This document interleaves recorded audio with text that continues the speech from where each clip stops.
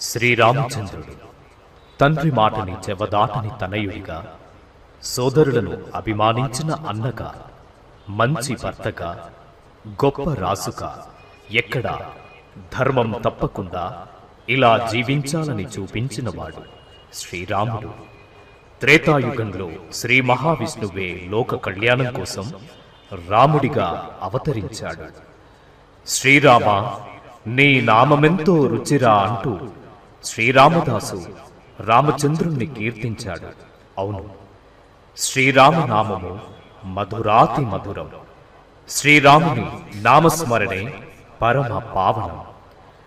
రామనామ తలంపు చేతనే మన తనువు పులకరిస్తుంటే మరి నామము ఇటుకల మీద వేరువేరు భాషలలో రాసి అయోధ్యకు పంపి మందిర నిర్మాణంలో పాలు పంచుకున్నవారు ఎంతటి ధన్యజీవులు? రామశిలలు అంటే రాముని పేరు.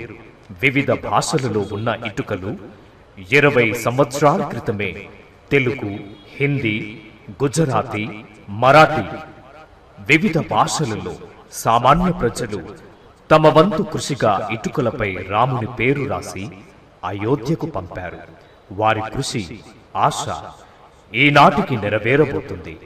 ఆగస్టు ఐదున అయోధ్యలో ప్రధానమంత్రి శ్రీ నరేంద్ర మోదీ గారి చేతుల మీదుగా రామ మందిర నిర్మాణం కోసం జరిగే భూమి పూజ కార్యక్రమం బసంతనగర్ ప్రజలతో పాటు యావత్ భారతదేశ ప్రజలకు జాతి ఎగసిపడే సందర్భం పంతొమ్మిది వందల తొంభై ఒకటి తొంభై రెండవ సంవత్సరంలో శ్రీ పరికి పండ్ల నరహరి ఐఏఎస్ గారి తండ్రి గారైన స్వర్గీయ శ్రీ పరికి పండ్ల సత్యనారాయణ గారి నేతృత్వంలో స్వర్గీయ శ్రీ పాత బాపుశెట్టి గారు మరియు ఇతరులు శ్రీరామ అని అలంకరించిన ఇటుకలను అయోధ్య రామ మందిర నిర్మాణానికి పంపిన వారుగా చరిత్రలో నిలవడం మనకు గర్వకారణం.